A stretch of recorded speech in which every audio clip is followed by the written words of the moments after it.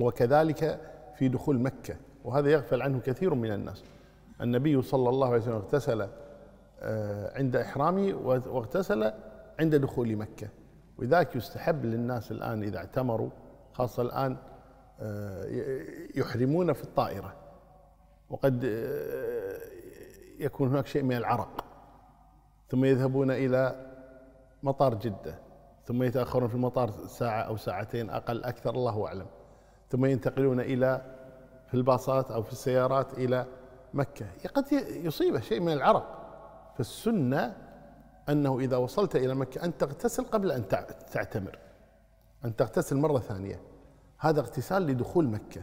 هذا غير اغتسال الإحرام وإنما اغتسال لدخول مكة دخول يعني الحرم تغتسل مرة ثانية. هذه هذه هكذا كانت سنة النبي صلى الله عليه وسلم. نعم.